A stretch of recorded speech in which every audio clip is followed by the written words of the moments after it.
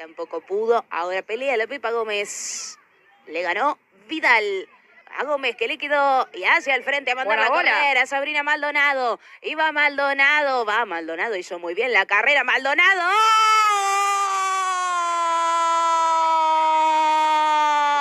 ¡Gol! Golazo. ¡Gol